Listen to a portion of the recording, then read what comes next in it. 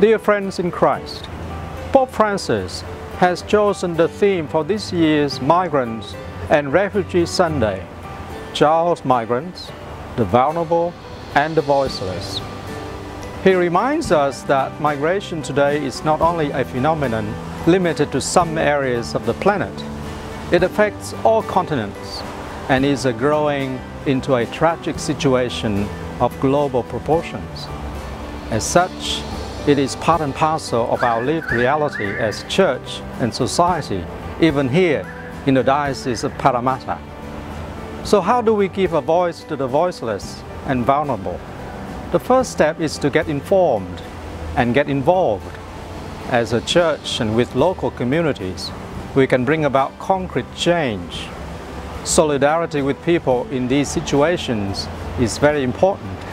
We need to become aware of people's stories and experiences and where possible make others aware as well by uniting with those vulnerable people, especially children.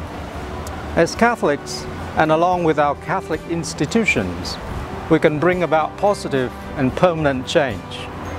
There are already many Catholic and community organizations that raise awareness of this issue and provide assistance to countless asylum seekers and refugees. They need to be greatly encouraged and promoted.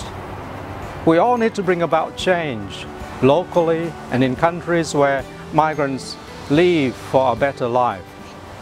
As Pope Francis encourages us, we must work to bring about peace and prosperity in nations that are less fortunate than ours.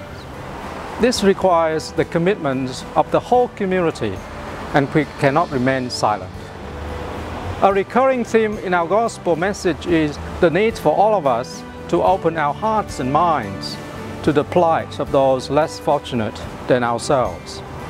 And so to this end, I'm inviting everyone to participate in a year-long diocesan journey, a journey to walk with refugees and migrants. We'll be initiating a series of community conversations held in collaboration with several partner agencies and organizations already working in this field. Hello, my name is Carolina Gottardo and I'm the Director of Jesuit Refugee Service whose mission is to accompany, serve and advocate for the rights of refugees, people seeking asylum and other forcibly displaced people. I am deeply inspired by the women and men in many agencies committed to accompany and support of refugees and people seeking protection in our country. There are committed agencies such as Catholic Care Social Services, House of Welcome and St. Vincent de Paul that are largely supported by volunteers that do wonderful work and that we work in partnership with. What inspires me the most is that people that we work with, those seeking asylum, and I wouldn't like them to be portrayed as victims, but rather as survivors. They have overcome insurmountable obstacles, they have traveled very long journeys and have been forced to leave everything they had in order to seek protection.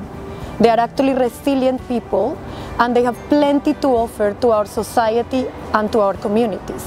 Indifference to the struggle is not an option and I do invite you to take action. The key will be for us as a Catholic community in Western Sydney and the Blue Mountains to open our hearts and minds, leading to a deeper understanding of the issues affecting those trying to seek a better life in our beautiful country. This will be a chance to highlight the ways of practical engagement, advocacy and support according to our various gifts and talents. I encourage widespread participation and active engagement, following up with the services and agencies that are reaching out to those seeking protection and hospitality. As I mentioned, this year's theme for Migrant Refugee Sunday focuses on children and by extension, youth. As we look forward to the year of youth, I invite our youth and young adults to bring to life the faith experiences of the Australian Catholic Youth Festival, World Youth Days, and our local faith events and formation to bring energy to this mission. I ask our students and teachers in our school system to continue to work for understanding and knowledge and find new ways to support, advocate, and work with refugees and those seeking protection.